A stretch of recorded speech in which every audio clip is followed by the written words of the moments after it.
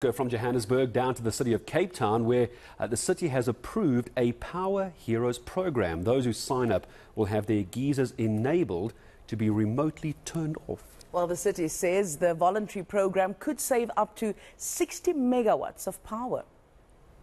A, uh, a contractor for the city will offer to install a remote device on your uh, geyser at home and that is a web enabled, Wi Fi enabled device which will allow the city to toggle your geyser off and on uh, during peak hours of the of the day and when the grid is under most pressure.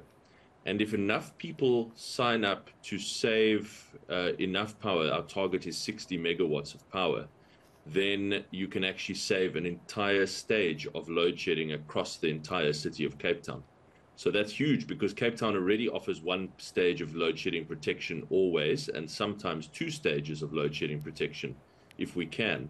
So if you can move up an entire additional stage, that just means that you then go from two stages to occasionally even three stages of load shedding protection uh, in the city, which is just great for our, our local economy and and for all of those businesses and of course as you say for for private homes that that really uh, find load shedding very difficult to to uh, to cope with.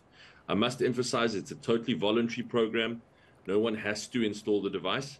Uh, the the contractor is is going around and and asking people to do so which is why we are calling it power heroes. We really are calling on residents to be power heroes and to help us save that whole additional stage of load shedding by signing up for the program.